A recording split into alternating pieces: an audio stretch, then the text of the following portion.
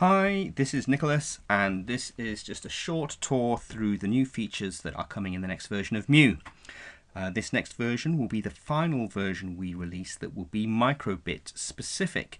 Uh, from now on, uh, development of Mu will be so that it becomes a generic beginner's editor for Python.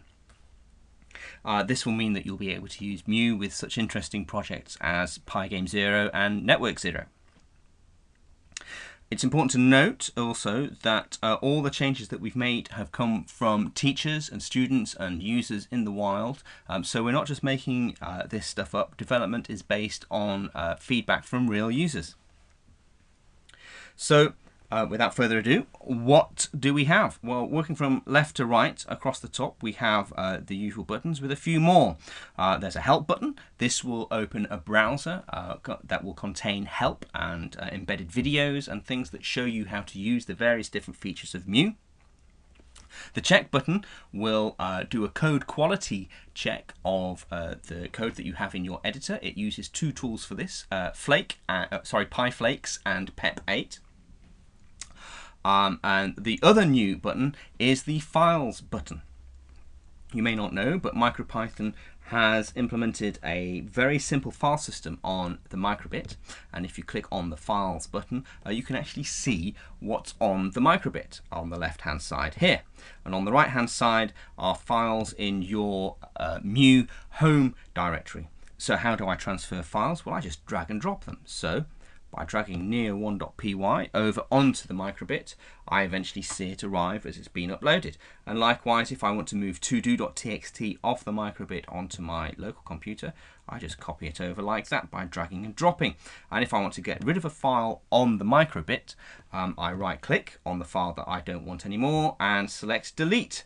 Again, if I don't select delete, uh, it will just cancel that operation. So it's the simplest, simplest possible file browser for a very, very simple file system.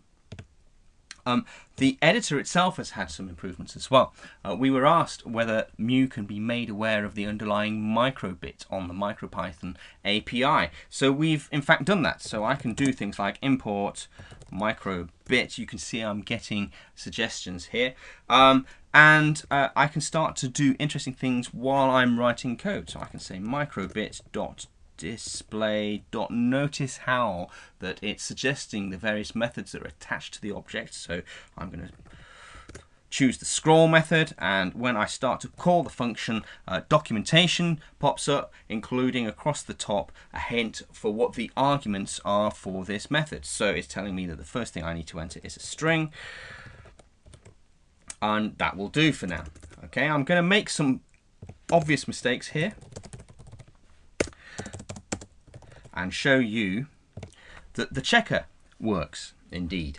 Um, so as you can see, there are red lines underneath various bits of code that have problems with them, and there are also red arrows in the left-hand side margin, just like teachers do when they're marking homework. If you click on one of these red arrows, a little post-it note pops up and tells you what the problem is.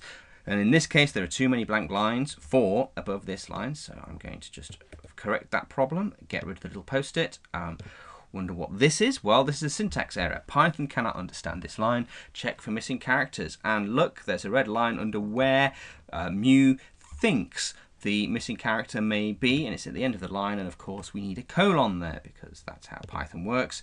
And if we look here, unexpected indentation, no new line at the end of the file. Well, there's unexpected indentation because uh, we forgot to put the colon in in the line above, so I'm just putting a new line at the end, and if I click check again, it checks the code, and I don't see any red marks, so I've been a good boy. I can go to the top of the class uh, because I know at least that my Python code is syntactically correct, so it should run run, although that doesn't mean that it's bug free, nor that it does what I expect it to do. But uh, it at least gives the beginner programmer some level of confidence and some way to try and work out where there may be problems within their code. And the final thing that I need to explain is that when we do release this version of Mu, which will be in about, I don't know, a fortnight's time, it will come with the latest and greatest version of MicroPython for the microbit, which contains lots of super duper and top secret new features, which um, have been an awful lot of fun to create. And I'm really looking forward to revealing them to the world because uh, we're very, very excited about some of the things that you'll be able to do using MicroPython on the microbit. So that's it, really. Uh, I I hope you found that interesting.